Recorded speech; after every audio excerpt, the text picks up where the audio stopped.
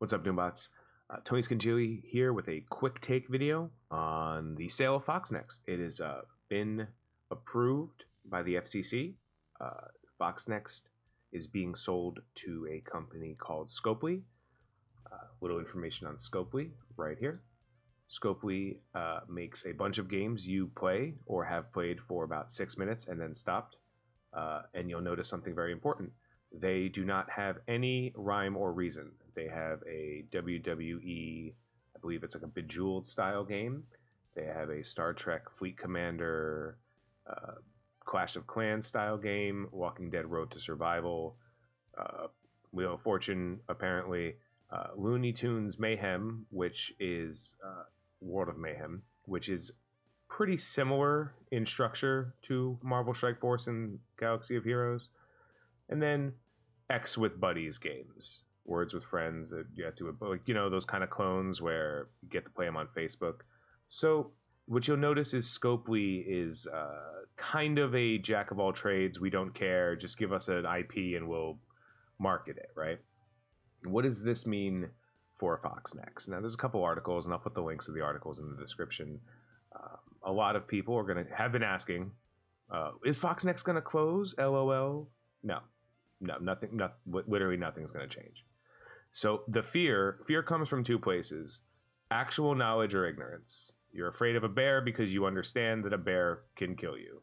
You're also afraid of the dark because you don't know what's happening in the dark because you can't see. A lot of people are in the dark about what it means to sell a company, what it means to sell a games company, what games company umbrellas are are, are about to do. Uh, so let me try to explain. Uh, scope Disney does not want to be in games development. That's their corporate manifest from Bob Iger himself. So Disney decided they have no interest in running this company they got for free with the purchase of the Happy Meal that is uh, Fox. They've been trying to sell it. Uh, Fox was trying to sell this company before the sale so they can generate a little bit more income and move it around. Didn't happen. It took so long to sell, and the last couple of months of the game have been pushes for high impact sales, which is why we've seen a lot of characters released because they wanted their numbers to look very good. They finally got approval for the sale, and as you read some of these articles, you'll see information about how much money uh, Scopely announced it had raised $200 million in strategic financing to accelerate companies' M&A and investment strategy. Uh, a portion of that 200 million is going to FoxNext. Now, my assumption, this is just an assumption based on my knowledge of the industry, is that they did not pay $200 million for FoxNext. They did not pay half of that for FoxNext. I'm probably going to put what they bought FoxNext Studios from Disney for at roughly 60 to 70 million, and that's a gross uh, overstatement too, because the company isn't necessarily worth what its sales are. The company's sales minus their profit is what they're worth. So, whatever amount of money that company generated internally, that's what's going to take. So, FoxNext made 150 million, 125, 170 million dollars over the last, you know, uh, the last 2 years. Then subtract their operating cost, and that's roughly how much they're worth. Uh, I don't think they're particularly worried about that. I think Scopely raised enough money to start investing, and I think we're going to see a couple more games uh, added to their lineup. But Scopely's not amazing or terrible. It's just a company that generates games. FoxNext is still going to be more or less in charge of what they're doing. So there will be very few, if any, changes that we see in our day to day gameplay.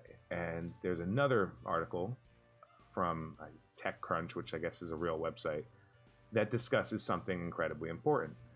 Uh, last paragraph uh, when the transaction completes, the FoxNext president, Aaron Loeb, will uh, become a executive in Scopely under, I assume, the FoxNext title, and the FoxNext Games senior vice president and general manager, Amir Rahimi, will lead the FoxNext Games Los Angeles studio as a Scopely uh, employee. So more or less, what the sale has done is it's taken people's job titles and added asterisks and commas at the end of them to embrace them inside Scopely. What this means for the employees of Fox Next, well, uh, no one can speculate. You know, like they might be downsizing a little to uh, accommodate for um, a new uh, leadership.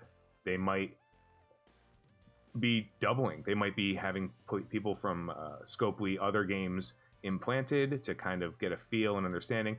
But you're not going to see any changes almost at all for many months. It takes more than six or seven minutes for a huge change. The only change you might see is upon the completion of the sale, you may see a Scopely Games logo at the beginning to add to the other 15. Um, so I just wanted to help quell a little bit of, of fear. Uh, or give you the unfortunate news that nothing is going to change. The game is not going anywhere. No one buys a, a company to, no one spends money on a company to shut them down. That's a stupid thing. It's foolish to think that. People buy companies because they expect them to generate money. Facebook bought Instagram because they knew it would generate them money. Scopely bought Fox Next Games because they found that for whatever their metric is, Fox Next Games will generate them money. How they plan on using that, we don't know. We'll find out in six months. But the game is not going to close. And on the other side, nothing is going to change. Offers are not going to be better. Anything that's going to change is stuff that was going to change no matter what. Red Star orbs being reworked, if that happens in the next two months, that's going to happen. That's that's done. That's already what's going to happen. They've already decided that. That's not something that's going to happen in a conversation because Scopely took over. They're not coming in with a hatchet and saying, make these changes now. That's not how anything works in game development. So anything you see happening in the next, I'd say, entire quarter, like until maybe May, that's all things that have already been planned. Once you get past May into some some weird and unique changes, that might be a, a rescan of monetization, or maybe they figure there's a better uh, cycle, or maybe Scopely has a predefined um, price point system that they want to apply to Fox Next, but that's not going to happen anytime soon. Uh, I wouldn't expect the game to become better if that's something you're looking forward to, but I wouldn't necessarily expect the game to become worse, and it's incredibly hard to imagine it becomes worse right now anyway.